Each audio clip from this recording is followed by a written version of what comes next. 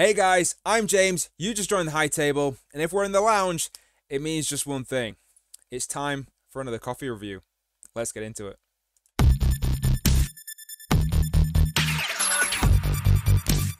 Hey guys, and thanks for joining me today in the lounge. Before we get started, if you could do me a huge favor, it's free. Can you like the video? Can you subscribe to the channel? It helps me out massively.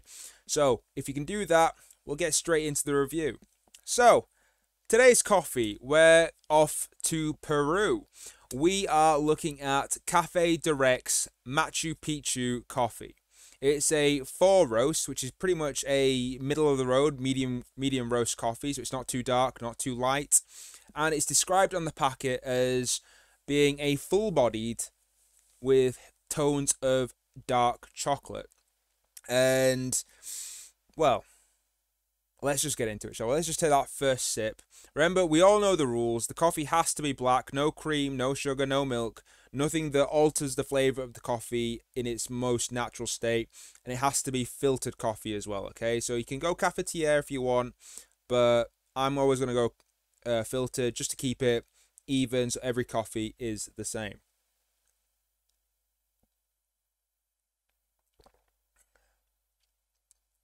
now right away right away i agree with what the packet says very full bodied like the Lavazza, it feels. There's no other way to say it. it. It does. It just feels fuller. It feels more honest. There's more to it, more robustness. Uh, unlike the Maillart that I had last week, which, to be fair, I don't think I gave it a um, a fair review. If I'm honest, uh, I don't think I had enough coffee in the filter when I made it, so maybe that altered the flavor. But like the Lavazza, this one very very robust. There's a lot of substance to it and i can get that straight away from the first sip. If i take the aroma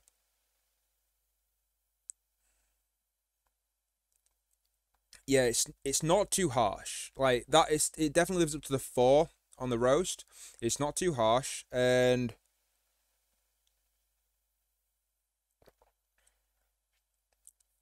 when you take your time with the sips you really do get that chocolatey flavor there. It it's it's quite similar in a way to the Lavazza I did in the very first video. The Lavazza set a very good first standard, I think. This I feel like this builds on that Lavazza. There's there's a lot of similarities to it in that flavor. Um, maybe it's because it's South American. It's the Arabica beans. It's from Peru.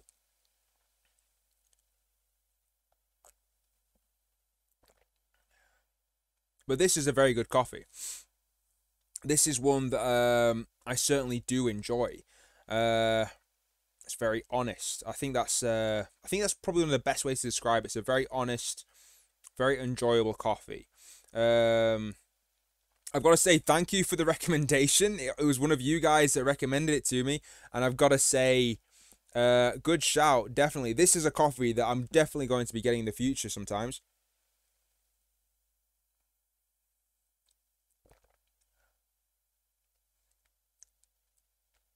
yeah, I really enjoy this. I really enjoy this. Like if I if I'd gonna give if I gave the Latza a seven five, the Lavazza Rossa a seven five, I feel like this is definitely this is definitely building on that. Definitely a very good coffee. I would I would genuinely recommend this one. Yeah, very good. I have very little to complain with on that coffee. And also, when reading the back of the package, when reading the back of the packet, you can also feel quite good when drinking this coffee because yes, it's a fair it's a fair trade coffee, which means that proceeds go to ensuring that farmers get a fair wage for what they're producing.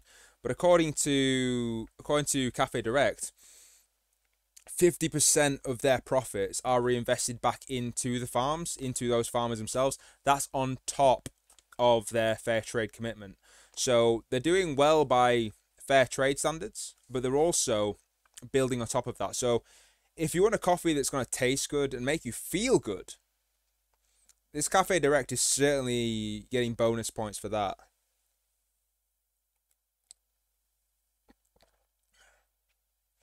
I mean, I mean, I'm not even gonna let my uh, half Brazilian bias get in the way of me here. Like, uh, this is Peruvian coffee, so it's not from Brazil.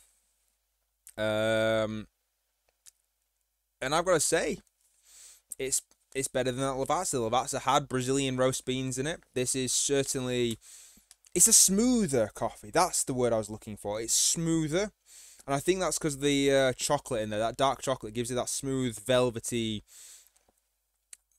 sensation when you're drinking it. Makes it very pleasant. There's nothing overpowering or harsh. It's very good. Like uh, I would certainly recommend this. So, the important question what am I going to give this for a score? Well, if the Lavazza was a 7 5 and that was our starting point, I think I'm going to give this. My guts say an 8 1. My guts give me an 8 1. Like, it's a very, very good coffee. There is nothing I can complain about with this thing. Uh, smooth. You know what? I'm actually I'm gonna I'm gonna up it. I was gonna give it an eight one. I'm gonna change that score. I'm gonna give it an eight five, just because although the coffee is honest with the eight one, I can't ignore that fifty percent to charity. You feel like you're doing something good when you're drinking this. You feel like you're helping out the little guy. Um, so yeah, I'm gonna give it honest score. I'm gonna give it an eight five. Okay. I genuinely would recommend this coffee. I'm I'm thoroughly enjoying it. Like you can see how quickly I'm getting through the cup. I'm nearly at the end already. What I would say about this coffee is as much as I really enjoy it, I feel like it's one that it's almost like it's a level above what you should drink on your day to day if that makes sense. It's almost it's, it's almost like it's too good to be your everyday coffee. Um, I feel like if you have uh, a special friend coming over or something like that, I'm not saying special occasion, but if you're having a friend come over and you want to make a nice cup of coffee, if you want to show off, this coffee for me would be the one to do it with. Um, like I say, it's very pleasant. It's got a very nice taste, very pleasant aroma. It's smooth. It's got that nice dark chocolatey, velvety sensation when it goes through. Great taste. I mean, some people are going to think I'm crazy because, like, I'm just talking about coffee, but honestly, coffee is something I take very seriously, and I really enjoy this. I'm certainly, this is definitely what I'm going to buy for more sort of when friends come over, as opposed to the coffee I have in the morning. This is going to be for when friends come over. I'm going to save the instant stuff for the people I don't like. So, honest review there. 8.5. Would be an 8-1, but I'm giving it an 8.5 because of it makes you feel good with the charity. So I'm going to give it 8.5 for that. All for that. Uh, I'm all for helping out the little guy, and it swung me a little bit. Um, also, before we leave the video, uh, I promised you a fun fact about coffee in the last one. So, in the last video, I asked you which country is the number one drinker of coffee per capita. I gave you a hint and I told you it wasn't Brazil. Brazil, we produce the most, but we ain't the biggest drinkers per capita. Who do you think it was? I'll give you I'll give you three seconds. Eh, the answer is Finland, surprisingly. Honestly, when I read that, I couldn't believe myself. Like, uh, I was genuinely surprised. But the Finns are the number one drinkers of coffee in the world, drinking about 26 pounds of it a year per person. That is insane.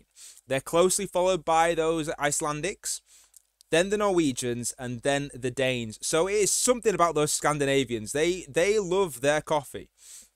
Got to give it to them. I understand that love a lot, and I've got to give them respect for that. But I've got to give it to you, Finns. You came out of nowhere. You surprised me, and I've got got to give you I'll, I tip I'll tip my hat to you for that. Alright guys, so that's the end of this video. If you've enjoyed this review, remember, as always, like the video, subscribe to the channel, and ring the bell for notifications. That way, you're going to get notified whenever I post a new video. And I'm always going to be talking about different stuff. Coffee is probably going to be my one constant. There's plenty of coffees out there to review. Um, but other than that, I'll see you guys next time. Have a good one.